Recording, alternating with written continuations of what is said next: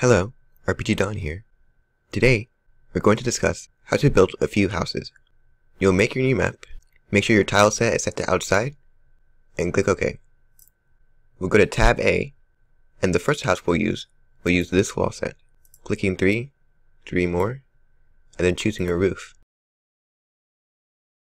Next we can go to B, put a hole for a door, and go to our event mode, right click that spot, quick event creation, door, change the image to match our hole, and click OK.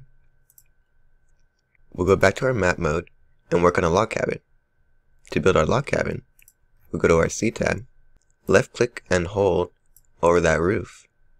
Then go to our tab A, choose this tile set, slide one line across, go back to tab B, choose a bigger square for the middle, event mode, right click the door, quick event creation, door, choose a different image, and this time give it that door, and click OK.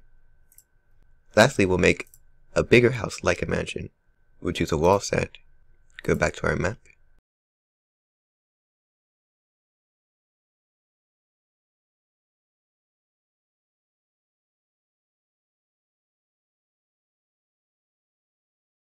Once we have this base, we'll go back to tab A and put our roof over it.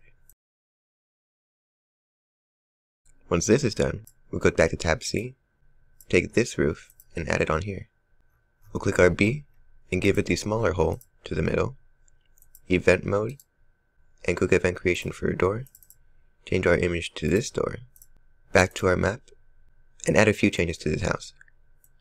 I'll hold this, we'll use this window, and then choose a smaller window over the door. This way, you can make a small townhome, a log cabin, and a mansion-like home.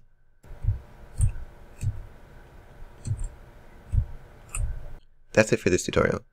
Please like and subscribe to show your support. If you have any ideas of what I should make a tutorial about, please leave a comment about it. Thank you for watching. See you on the next video.